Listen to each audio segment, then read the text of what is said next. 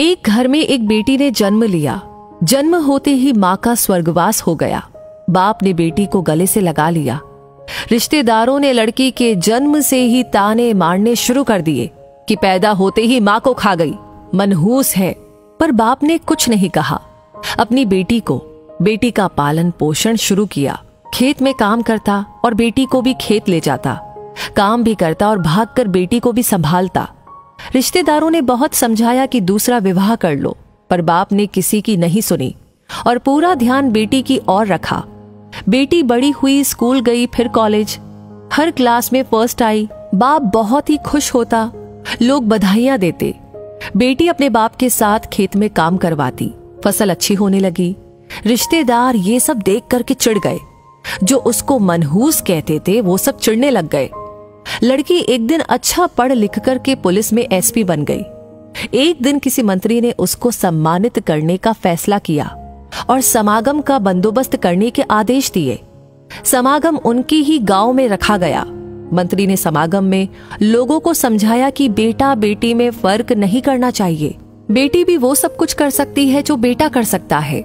भाषण के बाद मंत्री ने लड़की को स्टेज पर बुलाया और कुछ कहने को कहा लड़की ने माइक पकड़ा और कहा, मैं आज जो भी हूँ, अपने बाबुल यानी अपने पिता की वजह से हूँ, जो लोगों के ताने सहकर भी, मुझे यहाँ तक ले आए। मेरे पालन पोषण के लिए दिन रात एक कर दिया। मैंने माँ नहीं देखी और ना ही कभी पिता से कहा कि, माँ कैसी थी? क्योंकि अगर मैं पूछती तो बाप को लगता कि शायद मेरे पालन पोषण में कोई कमी रह गई। मेरे लिए पिता से बढ़कर कुछ भी नहीं। बाप सामने लोगों में बैठकर आँसू बहा रहा था। बेटी की भी बोलते बोलते आँखें भर आई। उसने मंत्री से पिताजी को स्टेज पर बुलाने की अनुमति ली। पिताजी स्टेज पर आए और बेटी को गले लगाकर बोले, रोती क्यों है बेटी? तू तो मेरा शेर पुत्र है। तू ही कमज़ोर पड़ गया तो मेरा क्या होगा? मैंने तुझको सारी उम्र हँसते देखना है। बाप बेटी का प्यार देखकर सबकी आँखें नम हो गई।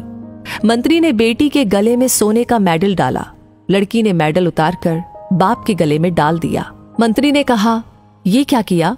तो लड़की बोली, मेडल को उसकी सही जगह पहुँचा दिया और कहा, इसके असली हकदार है मेरे पिताजी। समागम में तालियाँ बज उठी।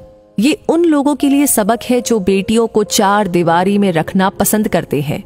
पर ये फूल बाहर खिलेंगे। अगर आप पानी लगाकर इन फूलों की देखभाल करेंगे तो दोस्तों, ये कहानी आपको कैसी लगी? इस कहानी के बारे में आपकी क्या राय है?